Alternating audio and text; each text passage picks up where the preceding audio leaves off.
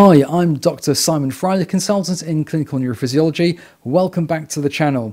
In this video, I'm following up the last one where I talked about febrile seizures um, and now thinking about how seizures manifest themselves with age and therefore what that might mean for the future as well we're thinking about epilepsy, we're thinking about seizures, and we know that these are manifestations of either abnormal excitation or reduced inhibition or some problem with the connectivity within the complex structures of the brain.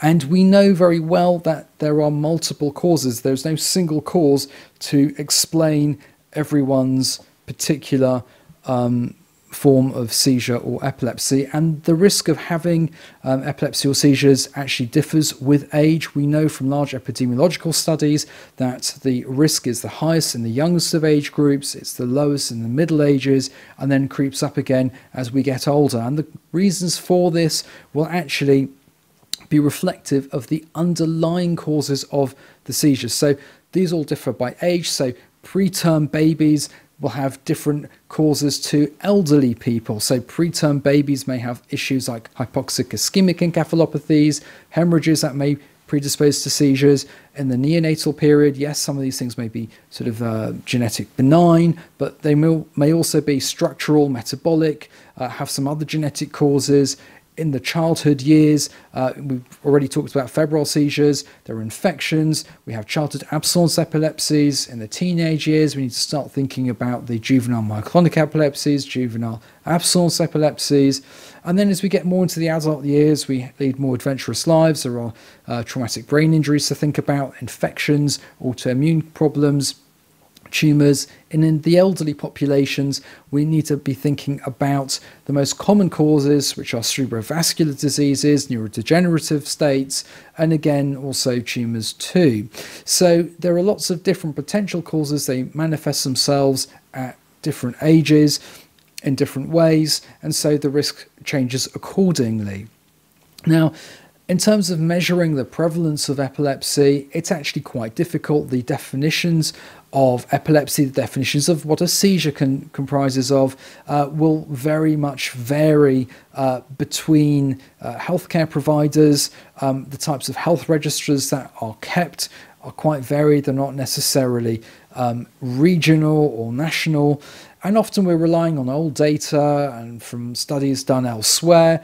I'm not particularly interested in what happened in Rochdale in the 1990s, to be honest with you, and I'm sure that you're not particularly interested either. I want to know what's going on in my area in the recent past and try and understand what might happen in the future as well. So, um, there are you know methodological issues with anything, but we need to start thinking about perhaps alternatives to these very large um, very labour and cash intensive um, ways of health register uh, studies.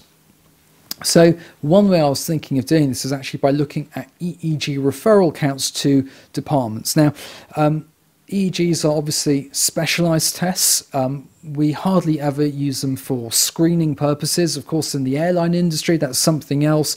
But in terms of my uh, laboratory, my department, um, it's very much um, on the whole in response to an event, and that event tends to be something which might be query a seizure, query uh, epilepsy. They are occasionally used for other reasons too.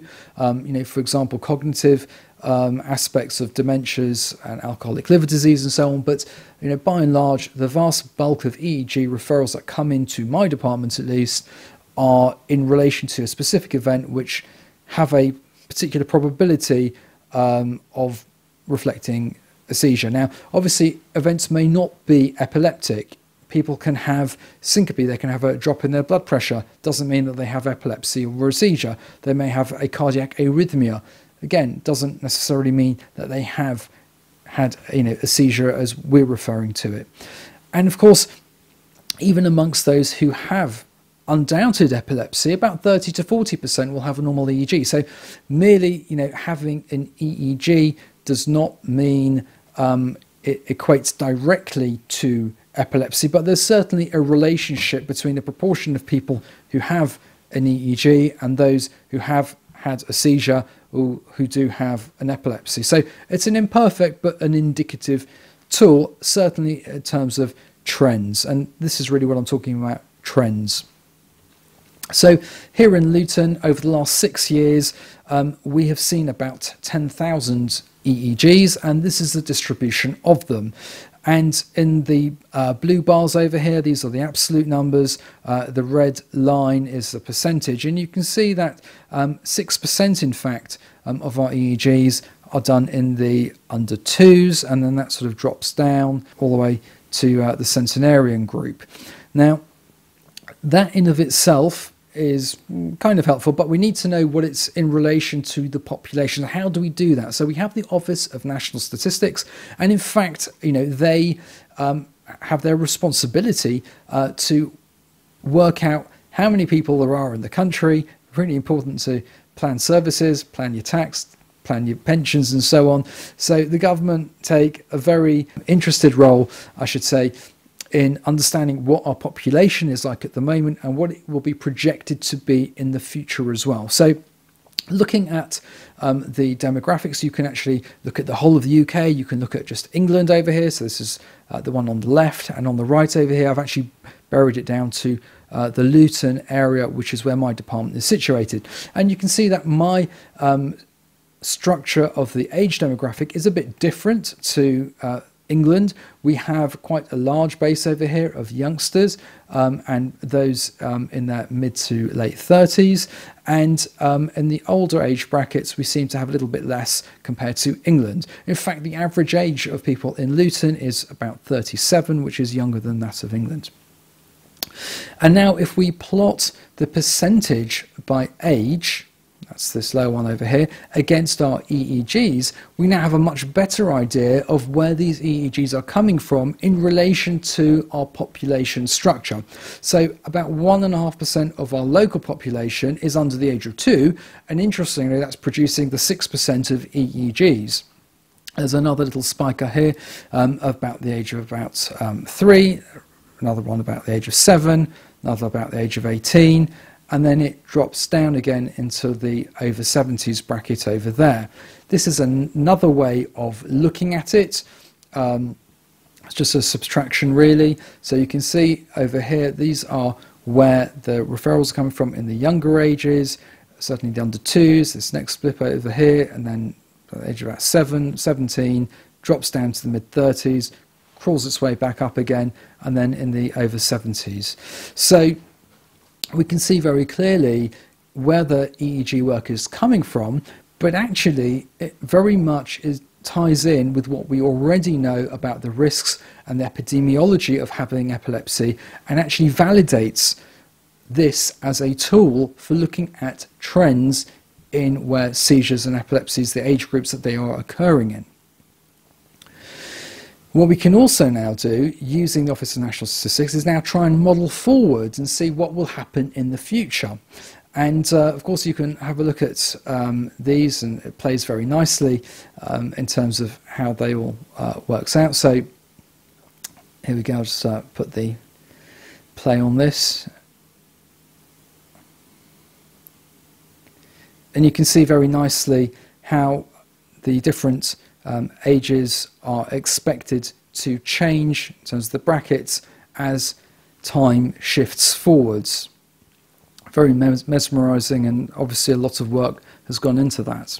Now, what I've done is I've extracted that data, that's been quite painstaking, um, but um, what you can see over here is uh, the red line here is the 2025 projection, and the green one here, bright green, is a 2030 projection, and you can see how uh, the age bumps are changing over the course of time. And so we're going to have more in the 14 to 18 bracket over there, more in the mid 40s, more in the uh, mid to late 60s as we go forward over the next 10 or so years.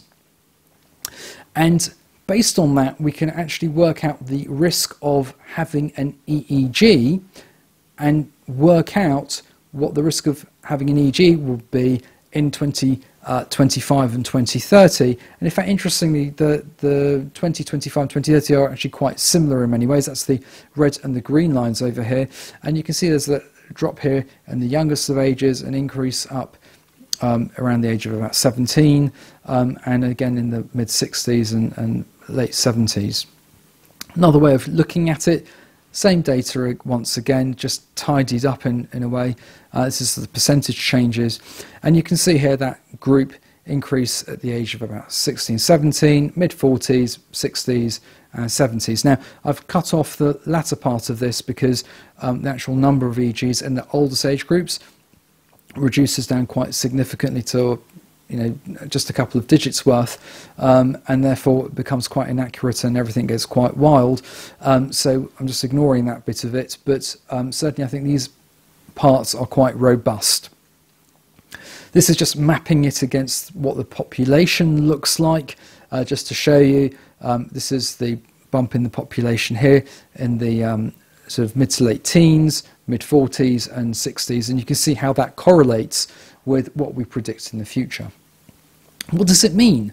So, for our younger age groups, pediatrics, we need to think about having dedicated services and support for teenagers, how we reach out with them, how we support them through their schooling, through their university, and of course, how we transition um, our kids and our young adults into their future too. There's a lot of work that has to happen in those periods. So we really have to target services to help those particular patients. In the Middle Ages, um, our neurology colleagues, we expect to have more work on their hands. If we're having people having more EEGs done in their mid 40s, it's indicative of there being more complex causes of uh, seizures and epilepsy. They'll have their hands tied with investigating those.